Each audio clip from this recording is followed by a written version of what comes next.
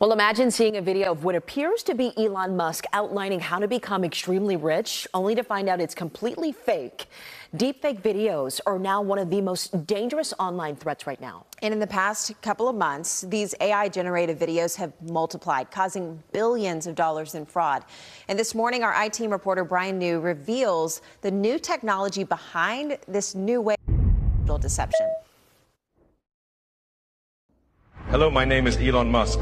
Today I would like to introduce you to Quantum AI. I saw it on Facebook, and then I saw it on TikTok. Do you want to earn from $5,000 a month? And I kept seeing it play over and over again. Quantum AI is a vision created to help people. Heidi Swan, a 62 year old healthcare worker, thought it sounded and looked like a smart investment. Looked just like Elon Musk, sounded just like Elon Musk, and I thought it was him. And so she contacted the company behind the pitch and opened an account for more than $10,000. You thought you were investing in cryptocurrency. Right. But Swan had been scammed. Her money had vanished. At the University of North Texas in Denton, Professor Christopher Meerdo is also using artificial intelligence, but he's using it to create art. AI, it's not going to replace the creative arts, but it's going to just uh, augment them and, and, change the way that we understand the things that we can do within the sphere of, of creativity. Meerdo says this technology can be used for innovation as well as deception. Meerdo says advances in the technology are making it easier to create a deepfake video. In fact, he says he can make a deepfake with just a single still image and by recording a video. So we asked Professor Meerdo if he could take this video and swap out my face and voice for that of Elon Musk's. And this is what he came up with. I could say, I know how to make you incredibly rich. Or I guarantee you that the Dallas Cowboys win the Super Bowl this year.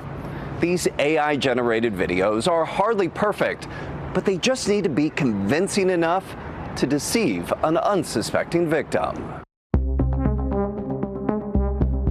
According to a leading financial research group, AI generated content contributed to more than $12 billion in fraud losses last year and could reach 40 billion in the U.S by 2027. So once you realized that this was a scam, did you go back and watch any of these videos? I did. I went back and watched them, but even though going back and watching them, they still look like Elon Musk. They still sound like Elon Musk. I didn't know it could be as real as that, and it is. Wow. It is such a scary new world that we're chills. living in. I, yeah. I, I mean, Brian, I, we all are on social media way too many hours a day, but we often spend just seconds looking at content. So, Absolutely. how do we spot when something is fake? Yeah, so sometimes there's an obvious sign of a deepfake, right? Like yeah. you'll see the unnatural lip movement sure. or odd body language. But as this technology improves, it's getting harder and harder to spot a deepfake simply with the naked eye. Hmm. So this morning, we want you to to watch a video of okay. Elon Musk, and we want you guys to tell us whether you think that it's real or a deep fake. Okay, let's do it. Look. Let's watch it. Uh, it's an honor to be here, um, and um, we're having a really, really great time uh, with me, my kids in, in Dubai. All right, pretty short, short clip there. So okay. what did you think? I think it's real. You think it's real? I think it's real too. You yeah. think it's real too? Looks I've legitimate. never seen that clip, by the way.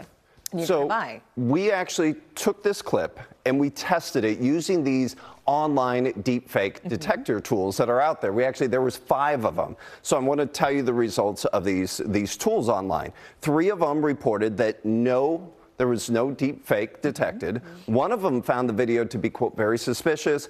Another indicated that it was 99% sure that the video was AI generated. Wow. So, so now knowing those, now knowing that, uh-huh. I'll give you a chance to, to change your answer if you want. I'm still going to say it's real. I'm going to say it's real too. I didn't see any unfamiliar or strange like lip movement or, or, or eyes twitching or anything like that. The body language looked normal. Yeah. I didn't see anything strange. All right. Well, you guys nailed it. It was actually Okay, a, real. real, Okay. real video. Okay. We try to not- trip you up a little. But it- bit. But the concern is. yeah, it's that- telling. Yeah, the concern is it's not just being able to detect a deepfake, but it's also knowing what is true. Mm-hmm. And that's one of the things that we notice with these online deepfake detector tools. So tonight at 10, we actually put several of these, five of these online tools to the test, and we'll share with you our results. And it is telling that out of the five, three decided one way, two decided another. One of them deciding 99% sure that it was. Ac- Yeah. I mean, uh, that's what just blows my mind is that there's not even a consensus with the detection software. Yeah, and and that is that's a concern too because you may watch it and you may your instinct may be, mm, I think this is real or a deep fake, and then you put it through one of these tools and that may may lead you astray. Wow. Brian, thank you so much. Especially you were on 10 o'clock last night and you woke up early just to come on with us. course, we anytime. appreciate you. Of course. So if you have any tips or questions for the I team and Brian, uh, you can contact them at the number right here on your screen or email them at iteam at ktvt.com.